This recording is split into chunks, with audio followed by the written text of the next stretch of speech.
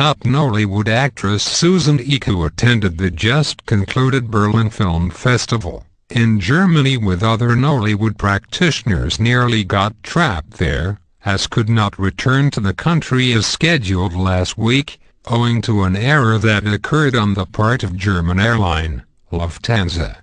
The actress, HVP learned left the country for Germany shortly after finishing from the set of her latest movie.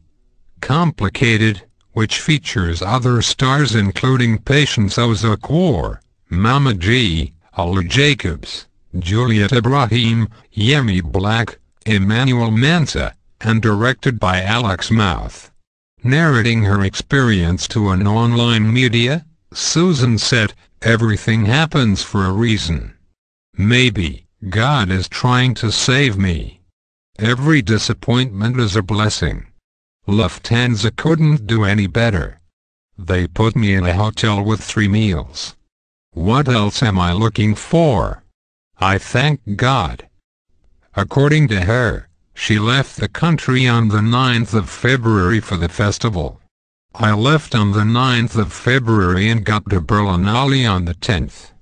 I saw a few people, but I didn't really have the opportunity of meeting or taking a photo with Angelina Jolie. It was fun all the way. I love European movies. I hope to feature in a movie with European celebs someday. The actress has since returned to the country.